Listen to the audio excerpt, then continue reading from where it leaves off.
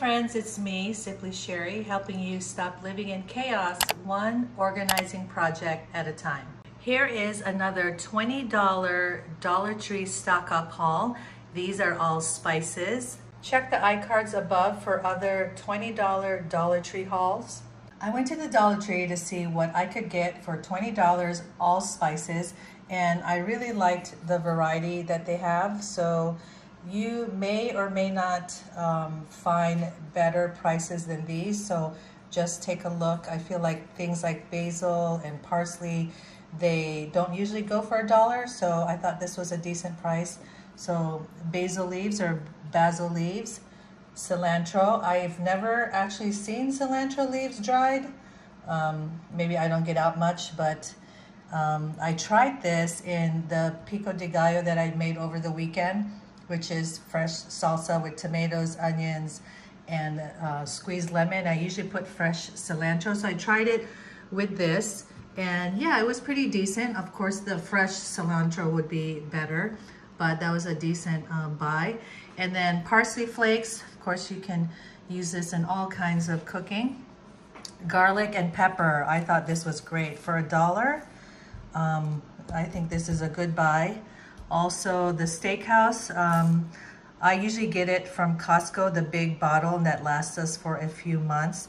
And then also notice that the expiration dates here are pretty good, uh, June 3 of 2022. So that's in like what, um, a little less than two years. So I think this was good. If you don't use a lot of steakhouse seasoning, then this would be a good size, but we use a lot um, especially like in hamburgers. I like to use that. So we usually get the one at Costco. And then chili powder, I thought this was a good price too. Uh, Italian seasoning. You can see that, okay.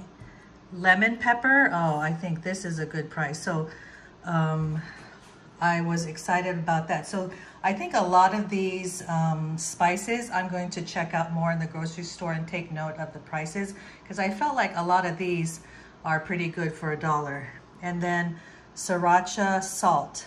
I have not seen this, so yeah, I mean, sriracha is expanding all kinds of uh, products, so why not put it in salt? Um, and then we have here the taco packet from Old El Paso. Now these usually go for 99 cents at my grocery store, so obviously a penny more. Um, they sometimes go lower than 99 cents, so this is not necessarily the best buy, but you know that they can have this at the Dollar Tree in case it's out at the grocery stores.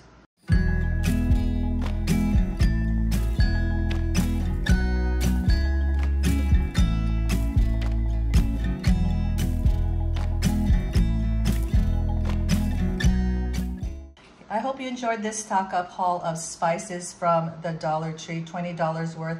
Let me know in the comments below if there are certain spices that you always buy at the Dollar Tree that you find are a good price. Let us know in the community and I'll see you in the next one. Bye. Is the clutter in your home leaving you exhausted? I can help you stop living in chaos.